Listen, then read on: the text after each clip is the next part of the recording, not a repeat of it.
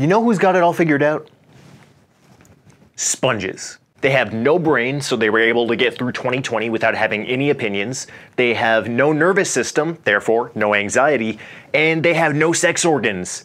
So when they fall in love, you know it's real. They have no organs, no tissues, and they have no sense of sight, taste, smell, and touch and generally they don't move around too much. You might expect an animal lacking all of these important features to not be a very successful survivor, but this is exactly how sponges have been existing for over 600 million years. More than existing, actually, they've been thriving. While having a complex body plan has its obvious benefits, sponges are living proof that simplicity can work just as well. There are some challenges, of course, like how does an animal with no mouth obtain food? And how does an animal with no sex organs reproduce? We'll answer all these questions and more in today's episode of Miller's Wildlife. The goal of this series is to explore every living branch on the animal tree of life. And where better to start this journey than at the very beginning, with the most ancient animals in evolutionary history that are still around today the sponges. Sponges make up the entirety of the phylum Porifera. There are approximately 5,000 species within this phylum, and they can be found in almost every marine habitat from shallow tide pools down to depths of nearly 9,000 meters below sea level. They exist in every coral reef, and a few even live in freshwater lakes and streams. The only place that a sponge couldn't live is in a pineapple. Get out of here with your fake news. Sponges haven't changed too much throughout evolutionary history. You might expect this to mean that they're somehow primitive or less advanced than other species, and from a certain perspective, that's true. But another way to look at it is that sponges have developed a body plan that just hasn't required too many upgrades. For a sponge, simplicity is key. Most animals have cells that join together to form tissues, and tissues that join together in multiple layers to form organs.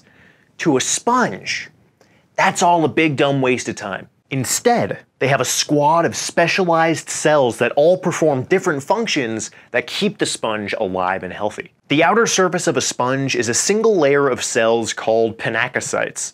Think of it like sponge skin. The inner surface of the sponge is lined with cells called choanocytes. Choanocytes are incredibly hard workers, generating a current by rapidly waving a hair-like flagella and trapping food particles in a sticky collar around the base bringing bacteria, plankton, and other microscopic bits of organic matter into the cell for digestion. Waste and anything not used by the sponge is then pushed back into the water through an opening called the oscula. Some sponges have one large oscula, like this vase sponge, and some have multiple smaller osculum, like this yellow ball sponge. In between the porous outer layer and the choanocyte covered inner layer is a gel-like material called mesoglea. A lot of weird stuff goes down in the mesoglea. Moving around within the mesoglea are cells called amoebocytes. I know this is a lot of new sponge words all shoved in your face at once, but do your best to absorb whatever you can.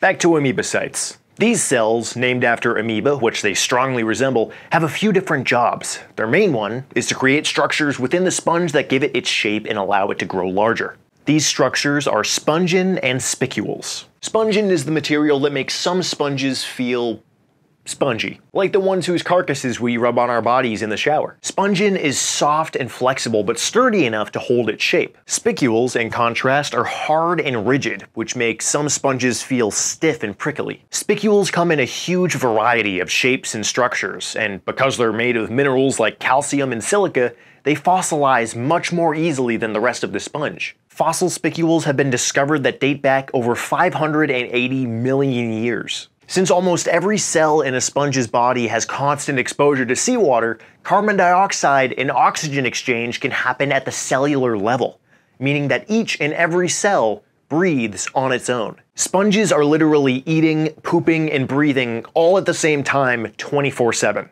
It's quite a lifestyle. This method of obtaining nutrients is so effective that a single sponge the size of a baseball can filter several gallons of seawater in a single day. In this way, sponges help recycle nutrients for other marine life in the way that fungi and plants do for creatures on land. So next time you're swimming in the ocean and the water looks extra clear, thank a sponge.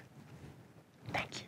All right, final question. How does a sponge reproduce?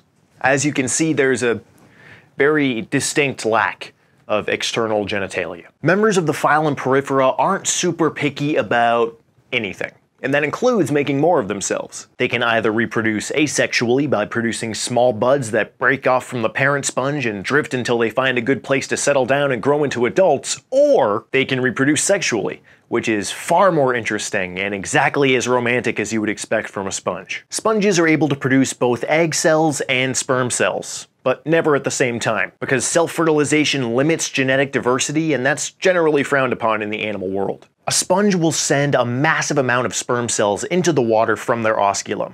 What happens next depends on the species. Some sponges will send their eggs out into the water to be fertilized externally, and others will absorb the sperm into their bodies to be caught by the choanocytes. The choanocytes then transport the sperm into the mesoglea and deliver it to an egg cell, where it develops into a cute little larva. After a short developmental period, the larva is birthed out into the ocean where it actually swims around until it finds a comfortable surface to spend the rest of its life. Sponges are living paradoxes. They don't do anything, but at the same time, they do a lot of things. They're simple in their complexity, but at the same time, complex in their simplicity. They were the first animals, and more than likely, They'll be sticking around for a long, long time.